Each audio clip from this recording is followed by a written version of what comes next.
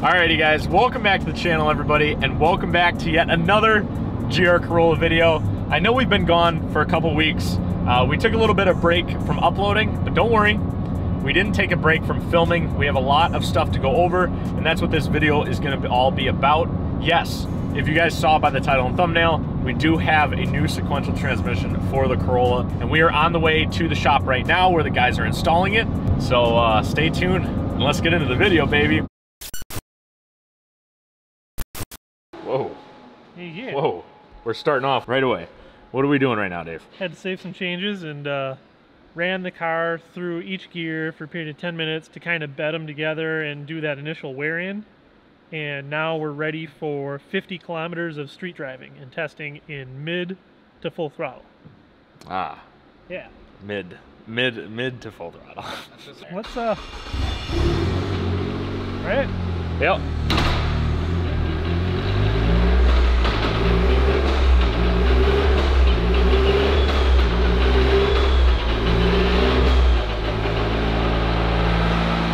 That's wild. That is wild, dude.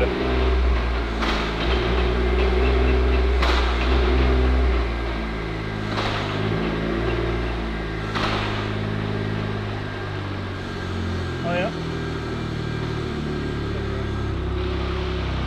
It works pretty well. Wild. That's so sick.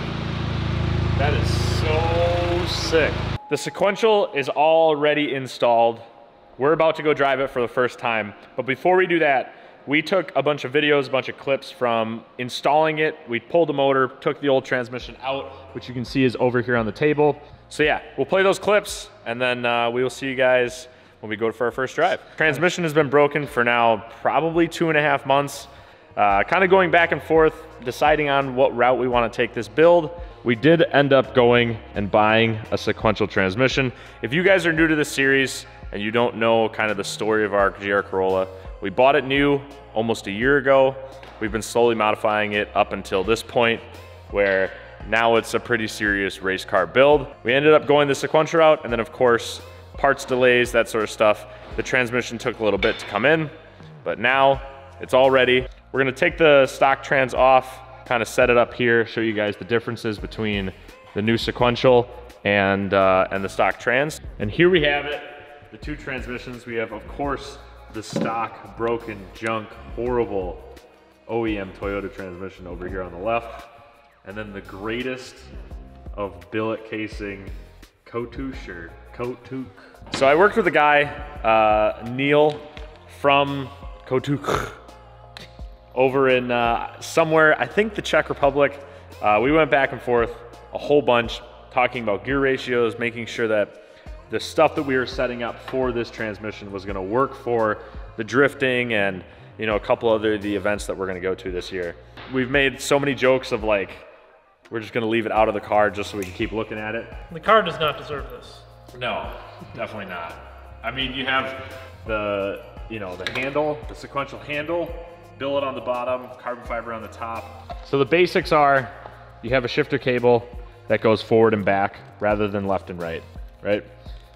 This shifter cable on this end will connect to the bottom of that shift lever over there, and then pull back. Pulling back is upshift, pushing forward is downshift, and then the little reverse lever over here is to is a neutral lockout and a reverse lockout. So you have to pull the lever, put it in neutral, pull the lever again, put it in reverse, and then uh, then just pull back to go back into neutral and then back into first gear. The kit also came with so it's gear indicator, so we'll have to mount this somewhere in the car, kind of up on the dash or something. And then it came with the wiring harness. We do have to take off the throwout bearing, which is this unit right here. And we have to swap that over. So one, two, three bolts, and then swap it over to one, two, three. And then the clutch line sneaks through the hole in the back right over there. That'll sneak through that hole right in there. Sequential also comes with a uh, different front LSD. I forget the company that they use. Uh, it is a, a pretty decently locking one, just like the 1.5 RS that we have in this transmission. And then next video, we're gonna tear this job apart and see what actually broke. Uh, we have a couple ways of fixing this transmission, but we thought, you know, we have the other Corolla and then we're gonna build, be building a couple customer Corollas here in the future. So having a stock transmission that's built uh, might be a good thing to have laying around. So we got the whole thing swapped over. Uh, there are a couple studs that are gonna be reused from the stock trans. There's a clutch line that needed to be swapped over over here. Uh, we test fitted the cable and stuff, made sure it was all good. We actually shifted through a couple gears. Here's a better look, you guys, at the uh, the Lamspeed turbo kit, kind of with the rest of the stuff taken off. Uh, G25 660 with the .72 rear housing. You have a Turbosmart wastegate, the Lamspeed exhaust manifold. We also have these awesome blue titanium exhaust manifold bolts. Uh, all these oil lines and stuff are all part of the Lamspeed kit. So you have some banjo bolts, another banjo. You also have a nice billet piece down here that adapts the uh, stock line to like an AN fitting. And then you have this, another AN fitting coming off, meeting up with a coolant line over there that robs one of the stock coolant lines. We got the ATS twin disc sitting right there. As you guys probably know from the other videos, it's a little bit noisy.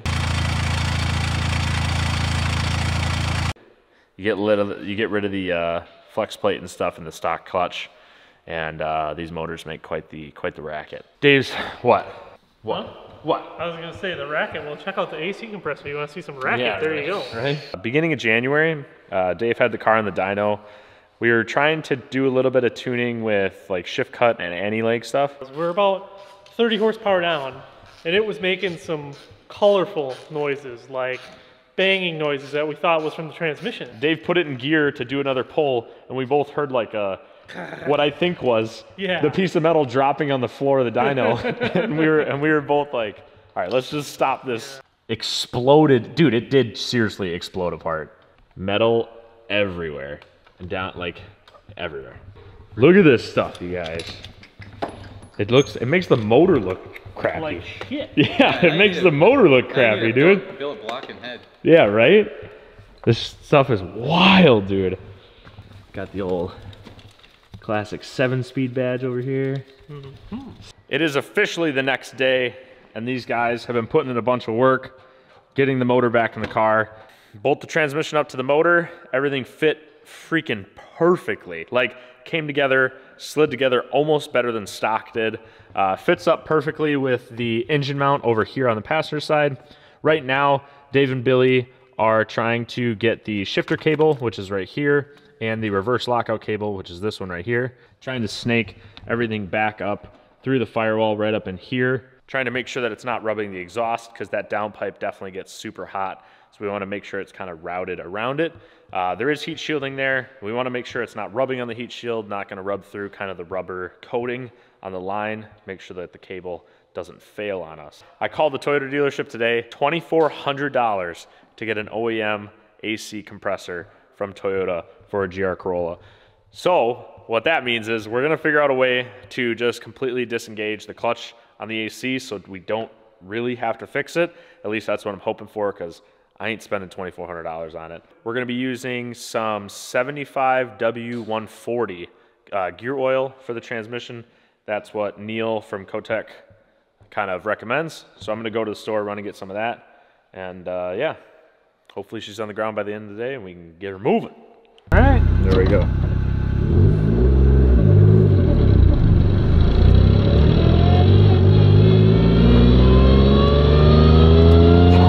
Oh, dude.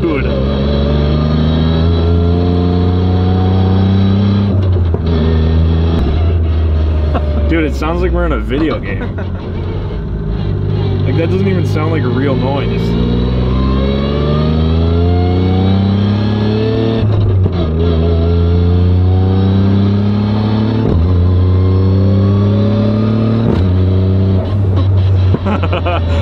That's wild.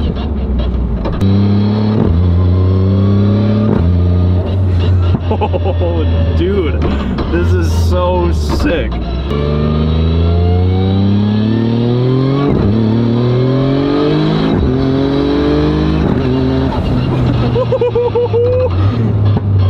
Dude, that's so much better.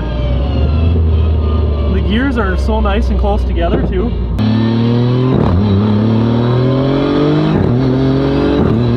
I'll hit it one more time when we straighten out here. Kind of felt like we hit a boost leak or something. Yeah,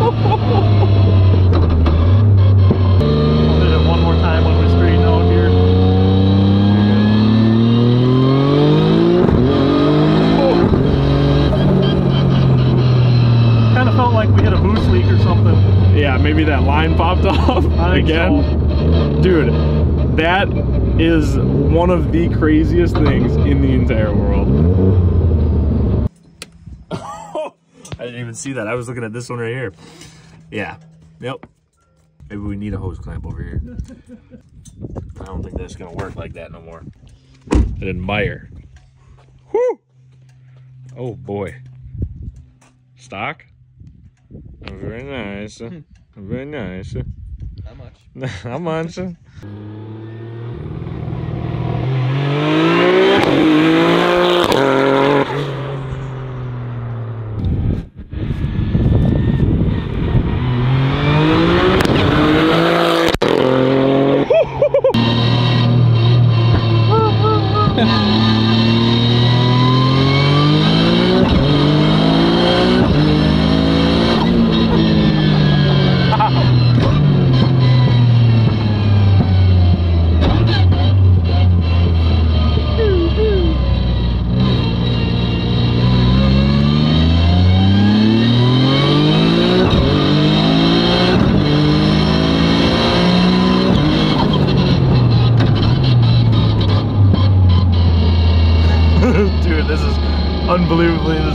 this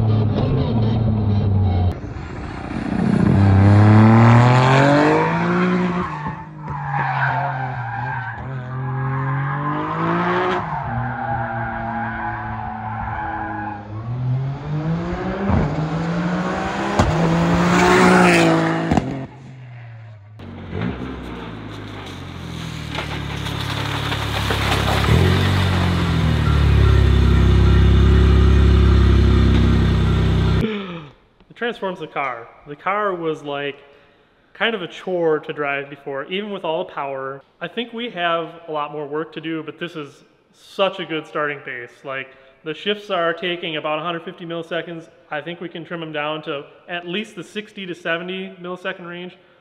Transmission's capable of 40. We'll see what we get, but Right. we're just gonna need need to go over the data. One thing that we talked about, and kind of the reason why we stopped and pulled it back in here, was we ran into oil temp, which we ran into oil temp before, and we did just like beat on it back and forth down the driveway like probably 30 times. Oil temp is an issue though. I mean, no matter how much we're beating on it, if we ever are to bring this car to a track, which should be a hint to kind of what we're to be doing this year with the car, um, if we're to be bringing it to a track and doing, you know, lap after lap, the oil temp is to become an issue. And as well, the rear diff, but we've talked about that before. Hopefully, we have a fix coming for that soon. So, you know, stay tuned. Hit that subscribe button. Make sure you guys are here to follow along because the sequential transmission is in. It's working. It's so much fun. Now it becomes kind of that Gymkhana style, the time attack style, the the ability to go drag racing and not just destroy and obliterate the stock transmission. We can put it through its paces more than we did before. Because I, I would say most people probably thought we were putting it through its paces before, but now it's now it's on a whole nother level. Now we're gonna reach the limits of the brakes because we're always going faster. We're always on the either the throttle or the brakes. Yeah. Before we were kind of between and spooling and turbo and just kind of driving Miss Daisy Sunday Sunday drive. And the oil temps are gonna rise quicker too because we're always on power. These cars sound awesome no matter what. One of the first modifications we did was the MBRP center exit. It might honestly be one of the best modifications we did because it doesn't split up the flames at all. So when this car shoots flames, it shoots bombs out of the center of the car. But hopefully we can take this car to events and stuff this year and have you guys hear it in person because I know for a fact that this is probably the highest horsepower GR Corolla in the United States. I know for a fact that it's probably the first sequential GR Corolla in the United States. Charles from Lamspeed, who we've been working with throughout this entire project, we, me and him have actually been talking back and forth this entire week because he just got his GR Corolla uh, that runs Motec. They're putting a sequential in it, the same Kotouc sequential. And I don't know tech, I, he probably got it installed before we did, but I'm still gonna take the title because he didn't put it on YouTube. So if you guys want to follow along, like I said, this is GR Corolla 2.0, right? It's only up from here. We have some really big moves coming for this year, for 2024. Please go down below, hit the subscribe button. And uh, if you guys got any questions, leave them down in the comments. We'd love to hear them. The GR Corolla has officially become a race car, and it's here to race this summer, 2024. This car is gonna take over the world. And uh, yeah, with that, this video is officially over. We will see you guys in the next one. Peace.